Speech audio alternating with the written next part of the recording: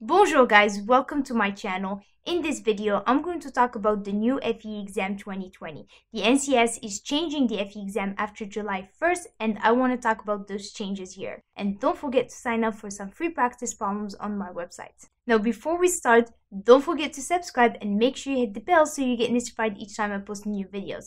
Now let's get right to it. So if you guys visit the NCEES website and you scroll all the way to the bottom, here you're going to see the specifications. So there are two types. One that is effective to June 30th, and that's for now. So if you're taking the FE exam before June 30th, that's the specification that you should be using. And if you exam it after July 1st, this is the specification that you should use, okay?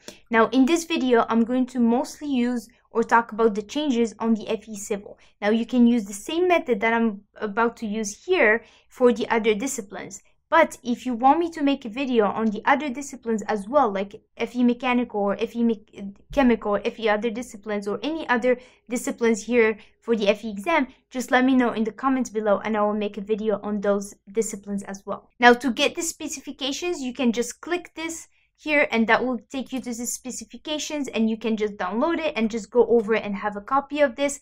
And if you're taking the exam after July 1st then make sure that you use this one instead and then you know just go over it. Now it's really important that you guys go over these specifications here. Make sure you pay attention to the numbers because this is important. This tells you how many questions you're going to get in each topic and you should study and know the ones that has higher questions because you are going to see a lot of those questions and that's going to increase your chances of passing your FE exam. So make sure that you guys go over the specifications and just have when you're planning your, your schedule for studying, make sure that this is open and it's next to you and also when you're studying or sometimes a lot of the books they don't really uh, they're not very relevant sometimes and they have some equations or some topics that are not here. So whenever you're in doubt and you're not sure if that specific topic or question is going to be on your FE exam, always reference back to the specifications and the reference manual. That's how you know if that topic or that question is going to show up on your FE exam. Now let's talk about the main changes here, okay? So this year it's for July 2020 and this year it's effective up to June 2020.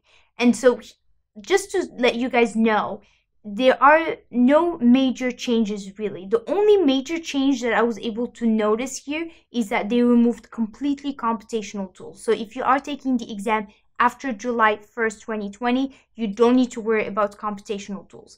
But what I also noticed is that they combined math and probability and statistics, which we're going to talk about in a little bit here. And then also like there were some topics in mechanics of materials that they removed, but just be careful. It doesn't mean that's not going to be covered in the exam. They were just moved. Like there was a column one, like the buckling column, that was moved to structural analysis and structural design. Okay. And then there was also another one stress and strain, but you're going to see that in materials. So you just got to be careful. Some, you are going to see some topics or materials that was removed, but not completely from the exam. It was almost like you, you can say replaced or is put in under another topic. Okay. And another thing I noticed is that they combine some topics. Like before, it used to be structural analysis, structural design. Here they have it all under one topic or hydrology, hydraulics, and environmental. Now it's all under one uh, material or one topic okay?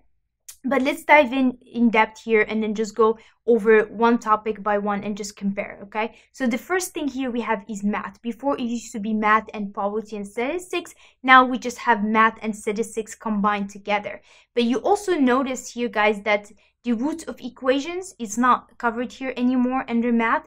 All you gotta worry about is geometry analytic geometry. This is about straight lines or like circles hyperbola ellipses and all that. And then you have calculus so that would be integration partial derivatives. Uh, you have also integrals area under the curves so that's what's under calculus. Then we have vector operations. So this is cross product dot product the addition of two vectors. So this is really important to know all these things. So this was already on the FE exam right before. Then we have here they added statistics. So statistics used to be by itself but now it's added under math. But note guys here that everything that is here it's actually here except for the expected value. Now the expected value though it it's not again it's not removed. You will see it but it's under engineering economics so which we're going to talk about in a little bit. But note here in statistics you still have to know distributions you still have to know the mean the mode standard deviation confidence interval regression and curve fitting. So again these here were already in the old exam right? Nothing changed. They just combined it now with math okay and notice also guys that they increased the number here. So it used to be 7, 11, now it's 8 to 12. But that's because they combined it with 4 and 6, right? So that's what that means. Now let's go to ethics. So ethics, it was interesting because they actually removed one or two topics from here, from this list. But other than that, it's it's still the same. But this sustainability and sustainable design, it was added in engineering econ. So here you guys gonna see sustainability and renewable energy. So, but it's gonna be different topics, right? So under ethics, you're gonna go over the ethics of sustainability and sustainable design. But for engineering econ, you're gonna more see like the uh, engineering economics behind, you know, these type of projects like sustainability and renewable energy. So that's just something to keep in mind. But now you are not going to be tested on this under ethics anymore. And also the professional skills is not under ethics anymore either. So you don't need to worry about this one. And yeah, so that's for ethics. And notes guys here, we have no computational tools. Okay, so if your exam is after July 2020, don't need to worry about computational tools. Now let's go over engineering economics. So engineering economics, they just changed uh, a little bit the words. So discounted cash flow, does the same thing as time value of money that just includes the present worth, the future worth, the annual worth, equivalence. Equivalence, it just means like if I give you some, like I ask you today, you have $1,000, what is the equivalence of that in the future? Right? So that's what equivalence is. And then you have the rate of return, that's for investment. So when you invest in, an, in a project or a company, what is your rate of return, okay? Then we have B. So B is the cost. Again, we already had these before, but now they added more. They added fixed cost, variable, direct, and indirect labor. So you gotta know those. And then for analysis, it's still the same overall. They did add sustainability and renewable energy, just like we talked about earlier. And then lastly, we have uncertainty, which is expected value and risk. Okay, so this here, you could you used to see it either in probability and statistics or engineering econ. Now they just moved it under engineering econ. But let's also here go over the number of questions. So for engineering econ, it used to be only four to six but now it's between five and eight. So they increased that number. So you might you're gonna be seeing more questions on engineering econ than before. Okay. Now let's go over statics. So for statics, actually nothing's changed. You're still gonna see the resultant force system, equivalent force system, equilibrium of rigid bodies, frame and trusses, the zero force members, centroid of area, moment of inertia, and static friction. But the only thing that changed here for statics is the number. So you used to get between 7 and 11. Now you might be able to see between 8 to 12 questions. So that's just something to keep in mind. This just means that you have to make sure that you know statics really well because you are going to get a lot more questions than before, okay? And also, in case you guys didn't know, I do have a statics course that really covers everything that you need to know for the FE exam. I go by every single topic. We do a lot of examples, quizzes, and at the end of the course, there's also a practice exam. So if you're not so well in statics or you just need to review and refresh statics, make sure you guys check it out. Okay, so for dynamics, the number of questions are still the same. You're still gonna see between four to six questions, but now there's actually less topic, which is impulse momentum. They removed it. So you're not going to see impulse momentum anymore under dynamics. It's just kinematics, which is, you know, like when you have kinematics, it covers like if you have a particle and it's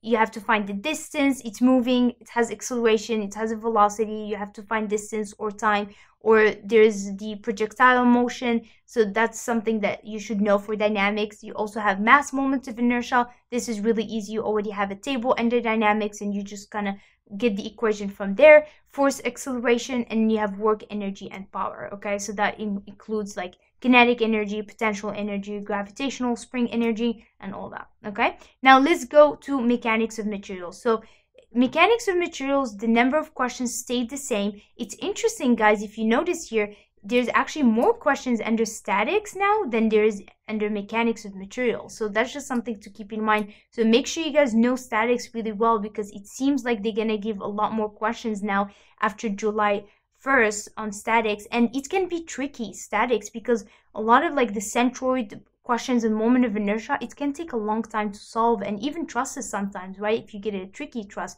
So make sure you guys know those basics really well. Now going back to mechanics of materials, what they did here is that they combined some of the topics. So like here, combined stresses, principal stresses, and Mohr circle, that's all under D. And then you have deformation, which is still the same, stresses and strains, and then you have shear and moment diagram, right? And then what they did is that, as we mentioned earlier, the column analysis, this was moved in structural analysis, which we're going to see in a little bit. You don't need to worry about composite sections. This is this one is a little bit tricky and it is actually now they do ask composite sections questions on the FE exam. So if you're taking the exam after July 1st you don't need to worry about that one.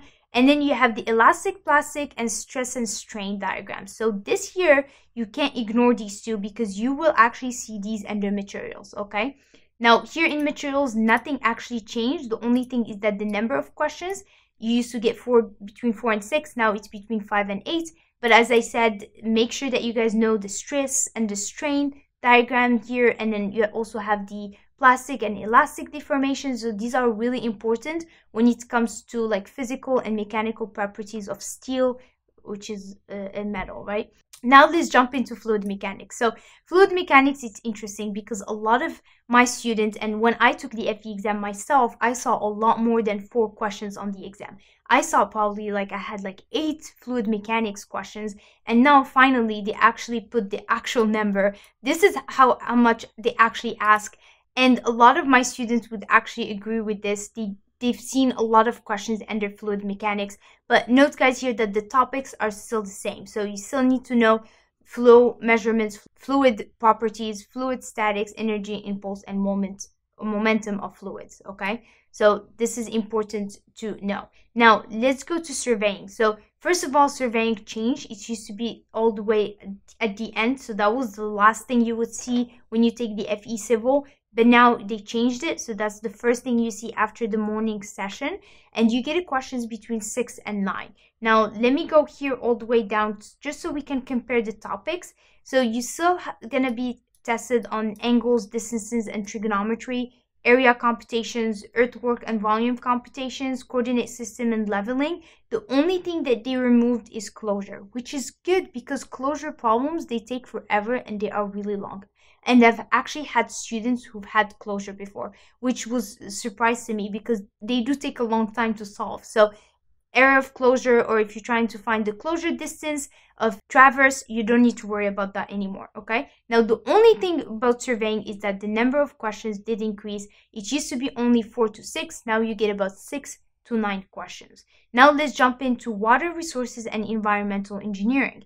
So water resources covers hydrology and hydraulics. So if you guys take a look at hydrology and hydraulics here, they took this here and then they just added the environmental engineering stuff. So basic hydrology, you know, infiltration, rain, rainfall, runoff, watersheds, that's was there already. You have basic hydraulics, Manning, Bernoulli, open channel pipe flow. You have pumps, water distribution system, you're still gonna have that uh, flood control, dams, uh, routing, and spillways. That was here, which is under reservoirs. They just changed the name to flood control. Stormwater, you have detention, routing, quality. So you did have detention already before. Then we have collection systems. So this is kind of under environmental engineering. So here you have wastewater collection and treatment. So you got to make sure that you guys know that. Groundwater flow wells uh, drawdown. So this is more under hydrology and hydraulics. So you kind of had to know that already before as well. So that would go under groundwater, right?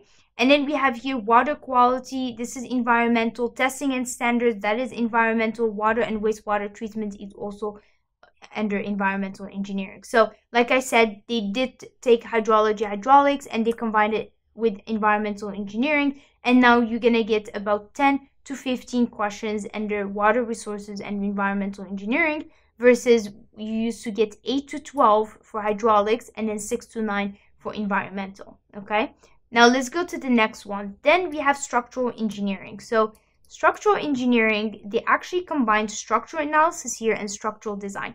They didn't change anything. They actually kept the same exact terms here. Deflection, analysis of forces in statically determinate beam stresses and frames, structural determinacy and stability, and then you also have load paths, and then you have element elementary statically indeterminate structures. The one thing they actually added here is the column analysis.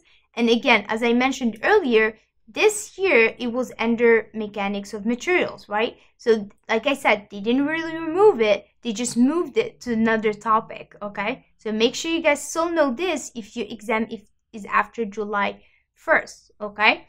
And then here, after that, here you have design of steel components and design of reinforced concrete components, and that's under structural design. So they combine the two, and then also here now you get about 10 to 15. So all these questions, guys, between anything between 10 and 15, they're very, very important because you're going to get a lot of those questions. So make sure that you guys know them very well. And then we have geotechnical engineering. Nothing really changed here except that they removed drainage systems and erosion control. And they might have removed something else from here, but other than that, it's still all the same. And then we have transportation engineering. Also didn't change except they removed something from here. I believe it was uh, traffic. So they combined traffic capacity with traffic flow theory. They kept traffic control devices and then I believe traffic safety is no longer in the exam. So you don't really need to worry about traffic safety. But yeah, but everything else kind of stayed the same. They also increased the number of questions for transportation. Now you get between 9 and 14 versus 8 to 12. The next thing we have, and I think is the last thing, is construction. So this one is interesting because it, you used to only get between 4 to 6 questions, but now you get about 8 to 12 questions. And it involves project administration. So this year, project administration, they just combined all these three construction documents, B and C. So all these three here are combined and under one for A, right? And then you have construction operations and methods. That's also something that you had to know before.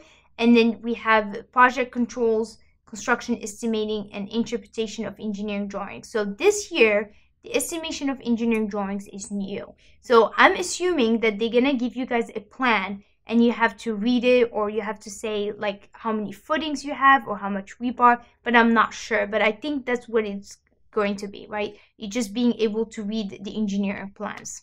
But once I know more about this, I will let you guys know like what you need to know. So those are the changes. Now, is it going to be more difficult or easier?